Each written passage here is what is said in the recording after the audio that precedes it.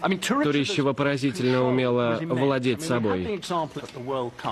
Я помню, что произошло на чемпионате Уэмбли. Только она спрыгнула с перекладин, как они взяли и сломались. Снаряд сломался. Она даже не обернулась. Потому что это уже не касалось упражнения, которое она только что прекрасно исполнила. Заметят ли судьи? Она была очень дисциплинирована.